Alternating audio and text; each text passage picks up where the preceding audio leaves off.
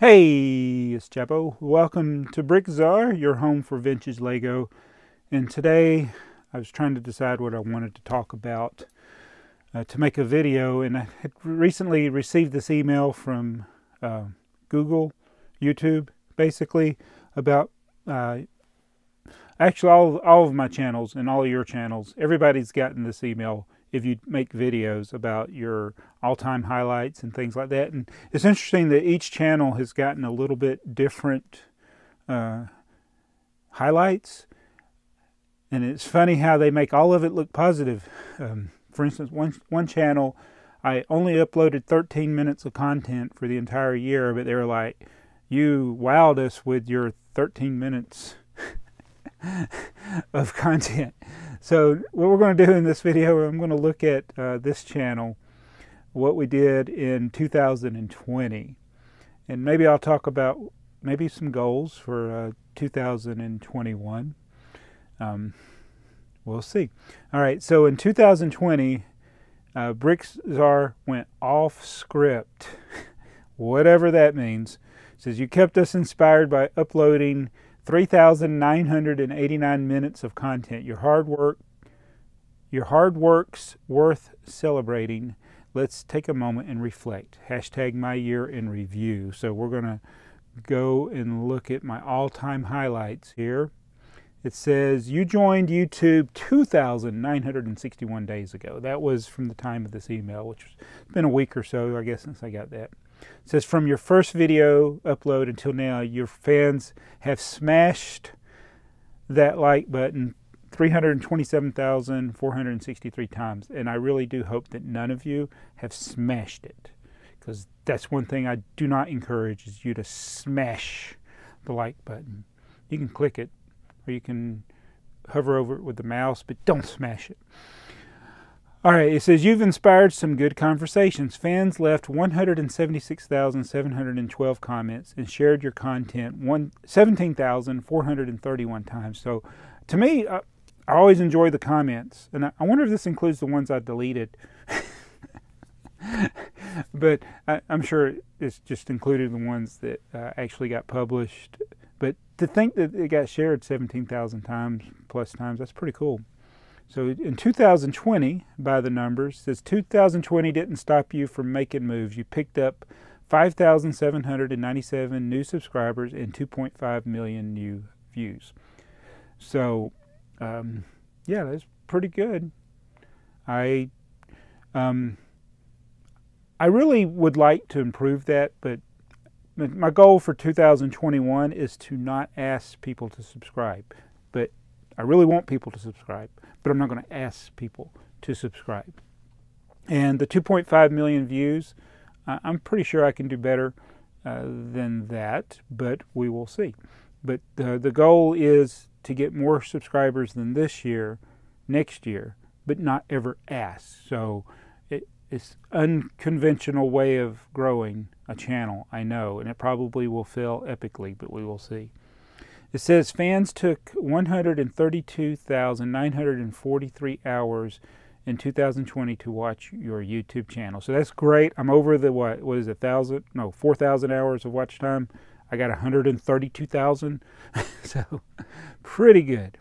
It says your fans can't get enough. Your videos received 68,362 likes in 2020. So 68,000 likes in 2020 versus 327,000 all time. Hmm. Seems like I'm getting more likes this year proportionately compared to the other years. I don't know how it compares year over year. So 2020 feel good moments. Uh, you kept in touch with your YouTube community by responding to 27,947 comments. That's just in 2020. Wow. That's a lot of, t- you know, I don't really think of me getting that many comments, that, that number, but to think that these are the ones that I've responded to 27,900. How long does it take to respond to that many? So um, I'm just glad y'all left enough comments for me to respond to. Thank you. Uh, that's a lot. Uh, fans returned the love by leaving 131 hearts and 42 thumbs in your video comments. So that's my comments. And I don't leave as many comments, I guess, enough comments on other people's channels. There are a lot of channels that I'll watch their videos and I almost never uh, leave comments. In fact, there's this one channel I've been, I'm almost, I'm almost done watching all of his videos. It's not Lego related, but I've only left comments on two of his videos. And I've watched, and I've watched these videos from beginning to end, the whole video. And, so, and there's some of them I've watched multiple times, the whole video. And so it's like, yeah, I'm I'm not commenting on it. Maybe I should. So that's everything uh, from my year in review uh, from this uh, follow up with um, with um, YouTube. so 2021, the goal is I, I, I do want to make a video every day, but seeing how I feel today, I may not be able to continue that. Uh, it's just a fun personal uh, challenge to do. And I want to continue to do updates as I, um, I'm filming down here for cleaning the room, reorganizing everything that I've been doing over the last several years. Uh, I'll continue to do those updates. I do want to do things with, regarding the wanted list.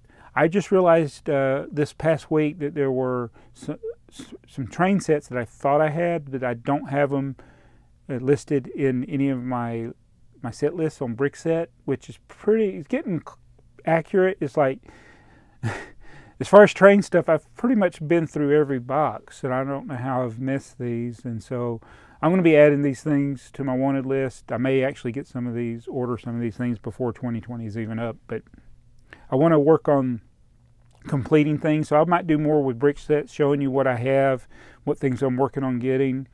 Uh, is like with each video maybe do like something that's on my wanted list, whether it be an entire set, an instruction manual, parts, like that.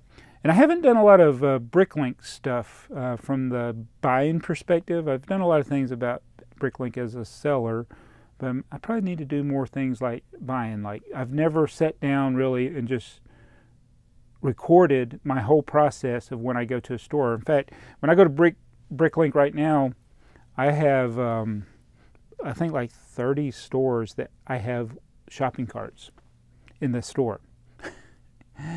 it doesn't mean I'm going to buy from those stores, but what I do is I say, okay, I need that item. I don't need anything, but I'll, I need that. I need this. I want that, and so I'll put it in my cart. But then I'm like, oh, he charges five percent PayPal PAL fees. Oh, by the way, um, I think that's against the terms of service uh, to charge those fees, but people do it in Europe anyway, uh, and I try to avoid buying from those people.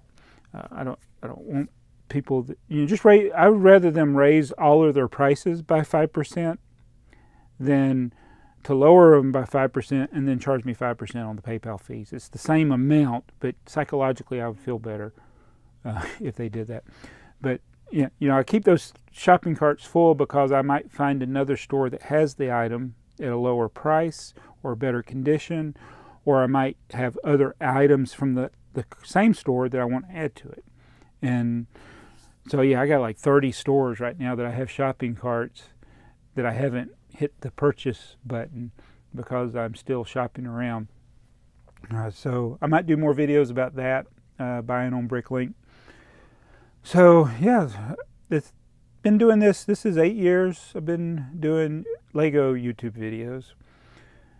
And I hope you've enjoyed it. And I hope to continue doing this, sharing my love for the hobby with you. Uh, you'll be, be warned that you'll have times that I rant about things. You'll have times that I'm wrong about things. You'll have times that I have different opinions than you might have. Or I may, might like things that other people don't like. Uh, I got strange taste, I know at times, but that's okay.